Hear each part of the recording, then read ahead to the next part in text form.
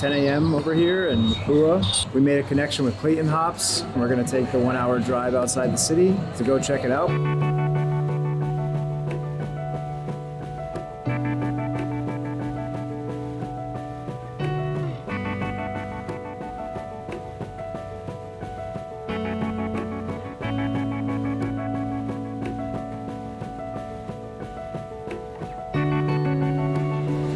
We are at uh, Battery Hill Hop Farm and Blue Rock Hop Farm, uh, about an hour outside of Ruby Bay, where we, where we stayed last night.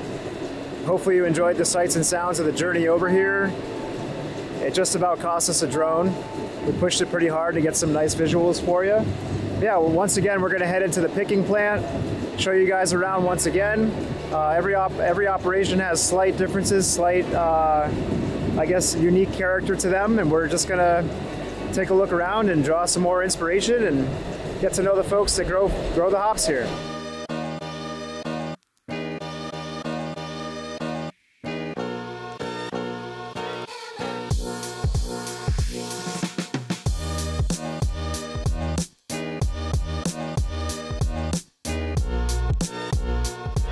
These are awesome. These are killer, right? These are straight up. Nelson.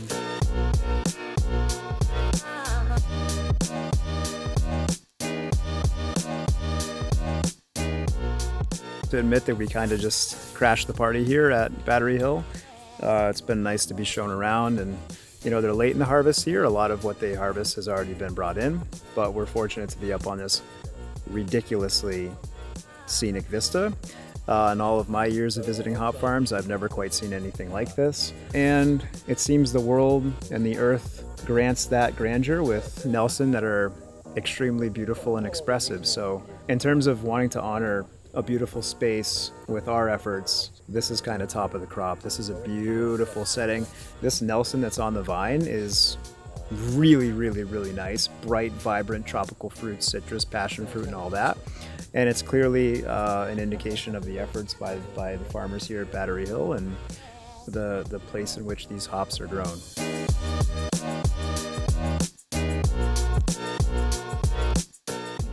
We just had uh, local brewers, uh, Sawmill Behemoth, um, Good Oh, yeah. George. Uh, another one just came through. Um, they target this at the end of the harvest, so they want a slight savoury note, which doesn't come through the beer when they brew it, and they get more of a grape, um, winey taste to it. Okay, late harvest, you said? A later harvest, yeah. So at the, at the end, so say this is going for 10 days, they'll be sitting, they'll want to be sort of 8 to 10 days old, they'll take the older stuff. Interesting. Yeah. Um, if you talk to them about Motueka, it's the opposite. They want to go at the early, early, Early. side of it. They get more of a limey, zesty yeah. flavour out of it. And what comes out later on it to those guys? Uh, limey, zesty. It's more. It's more, a bit more. uh, Not. Um, I guess you say sharper taste. Sharper later? Yeah, Yeah. sharper in the beer.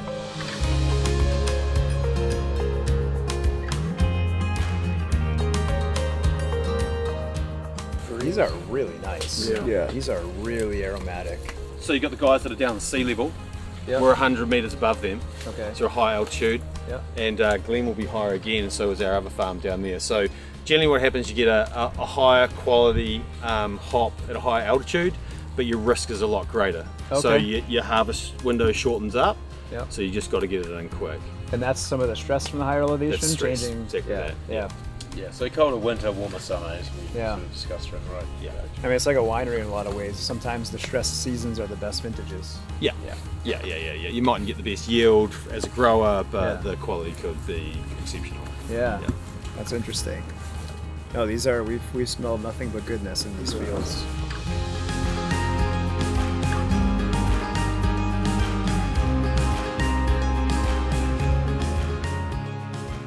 So we had a good time out here in the field. Uh, again, we're getting a off-the-cuff tour. I uh, from Glenn and Andrew. I can't exactly tell you what farm we're on, but we're part of Clayton Farms right now, and we've been treated with the utmost hospitality. Uh, again, we dropped it on these guys sight unseen, and they were very happy to take us under their wing and basically drive us all around the valley. And so yeah, we're gonna head into their kiln now, and we're also gonna head into town, whatever that means, to uh, to uh, sniff some sniff some dried cones of every variety and maybe even make a selection.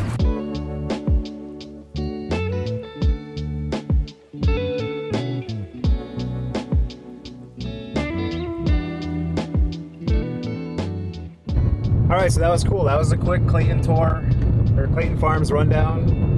Uh, great hospitality from Andrew and Glenn. Well, should we get you to smell it on the floor? Yeah, that would be great. They've given us a pin location to drive to where allegedly there's some more hop cones of all the uh, steam varieties that we're here for. Apparently, it's at a house, and yeah, we're just gonna make our way over there at QE speed, which is like twice as fast as we drive in America.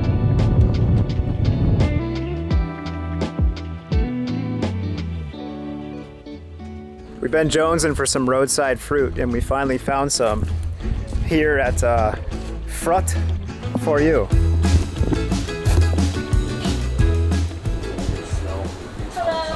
Got a Golden Queen peach, which to me is a novel variety, and our friend Andrew Porter is going to give you his thoughts in real time. All right, we got the Golden Queen. It's got a nice like uh, orange color right here.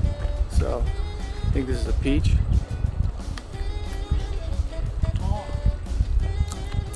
Got a nice crunch to it. Really sweet. Crunch, huh? Yeah. Interesting. Very juicy. It's a nice peach. I like it a lot. Give it a score. I'll give this an 8-2. Wow. Talk to me, gang. New Zealand grown strawberries. Straight juice. 9-1. Nine. Whoa, we got a 10 out of 10 perfect Best score. strawberry I've ever had. That's strawberry. Uh, yeah. That's true. Can't get better than that. Should we go get another one? These are so good.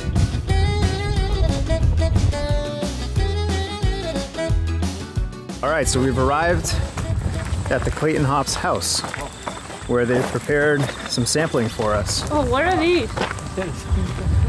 Looks like our friend Amay is here too. Pears? It's a party. Roy's over there. The crew's reunited. Look at this. Hey folks. How are you? Welcome. Buddy, how are you? Good man, how are you? Good, good to see you. Likewise. Think you're on the YouTube. I am. Hi YouTube. too. Second, second time, deja vu. Good Cool. you.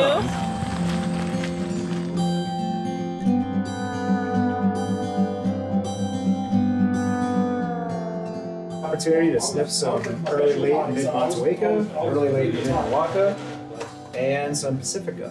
And we cer- most certainly have some winners here, and we are not going to tell you which ones they are. This is the conclusion, I believe, unless anything transpires tomorrow.